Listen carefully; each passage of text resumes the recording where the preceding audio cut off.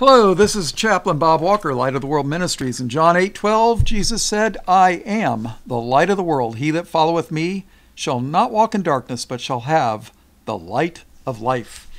Get your King James Bible, turn it to Revelation chapter 16. We're going to read the entire chapter. Just a little background though. The in Matthew chapter 24 and Mark 13, the disciples asked Jesus privately, what would be like uh, at your coming and the, the end of the world? And he went on and explained a few things. And there's a group of people called that they call themselves preterists. And you have uh, partial preterists and then you have full preterists. And what they do is they say that everything in Matthew 24 has been fulfilled. Everything. And then there's some that says, well, it was partially fulfilled, but it's not completely done yet.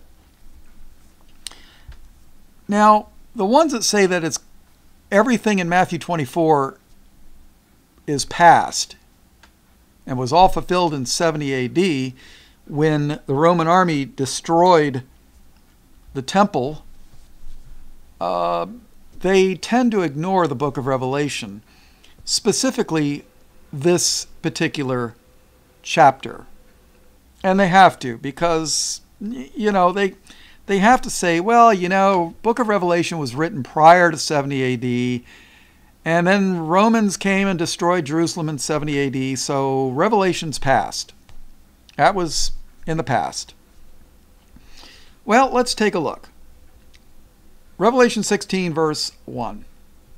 And I heard a great voice out of the temple saying to the seven angels, Go your ways and pour out the vials of the wrath of God upon the earth. The vials of the wrath of God upon the earth. And the first went and poured out his vial upon the earth, and there fell a noisome and grievous sore upon the men which had the mark of the beast, and upon them which, which worshipped his image. See, there's people that'll actually tell you the mark of the beast was 70 AD. Verse 3 And the second angel poured out his vial upon the sea, and it became as the blood of a dead man, and every living soul died in the sea. When in recorded history did every did the sea become as blood and every living soul in the sea die? When, it, when, when was that recorded in history? Uh, never. And the third angel poured out his vial upon the rivers and fountains of waters, and they became blood. When was this recorded in history? And I heard the angel of the waters say, Thou art righteous, O Lord, which art and wast and shall be, because thou hast judged thus. For they have shed the blood of saints and prophets, and thou hast given them blood to drink, for they are worthy. Why are they giving them blood to drink? Because they shed the blood of innocent people, the blood of saints and prophets. That means they killed them. Verse 7. And I heard another out of the altar say, Even so, Lord God Almighty, true and righteous are thy judgments. And the fourth angel poured out his vial upon the sun, and power was given unto him to scorch men with fire. You see, Al Gore is right. Global warming is tr- coming to true. But it's going to be from God, not from overpopulation. And the fourth angel poured out his vial upon the sun, and power was given unto him to scorch men with fire. And men were scorched with great heat, global warming right?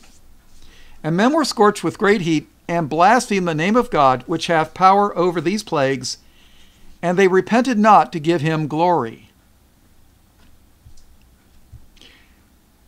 And the fifth angel poured out his vial upon the seat of the beast, and his kingdom was full of darkness, and they gnawed their tongues for pain and blasphemed the God of heaven because of their pains and their sores, and repented not of their deeds.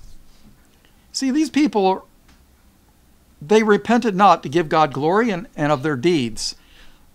Uh, there's a famous internet preacher running around saying that you got to repent of your unbelief, but here God wanted them to repent of their deeds, but they repented not of their deeds.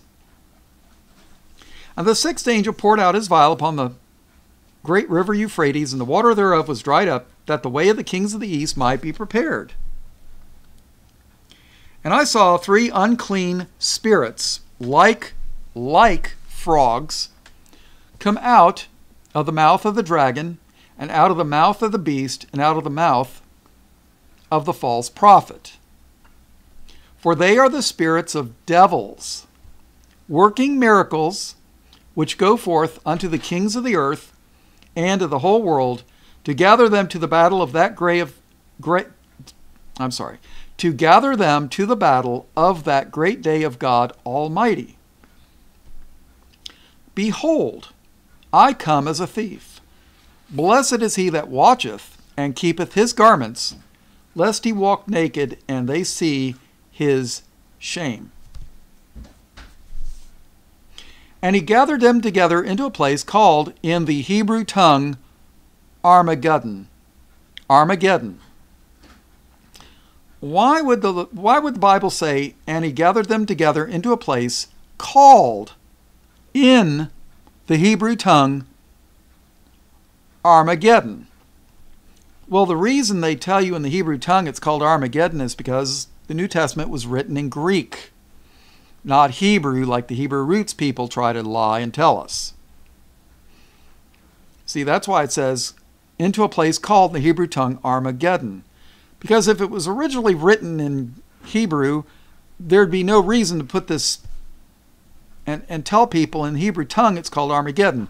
You know, it would say, oh, and in the Greek it's called this, but it doesn't do that.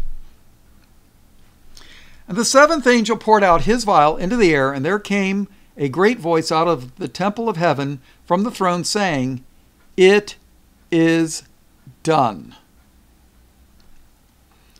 And there were voices and thunders and lightnings, and there was a great earthquake, such as was not since men were upon the earth, so mighty an earthquake and so great. And the great city was divided into three parts, and the cities of the nations fell. And great Babylon came in remembrance before God to give unto her the cup of the wine of the fierceness of his wrath. And great Babylon came in remembrance before God to give unto her the cup, the cup of the wine of the fierceness of his wrath. And every island fled away, and the mountains were not found. Did every island flee away? Were the mount, are the mountains not found? Uh, so, full preterism can't not possibly be true. You see, preterists will only talk to you about Matthew 24. They won't talk to you about the book of Revelation. Verse 21, and we're going to close this out. And there fell upon men a great hail, hail, H A I L, and there fell upon, fell upon men a great hail out of heaven, every stone about the weight of a talent. Now, for those of you that don't know it, a talent is about 70 pounds which is around 30 kilograms. All right, so a talent is, like I said, about 70 pounds or about 30 kilograms. That is a heavy piece of hail. And you got to figure a piece of hail's got to be traveling at at least 70, 80, 90 miles an hour. Uh, let's see, how fast is that traveling? So that um, you got to figure at least 90 miles an hour.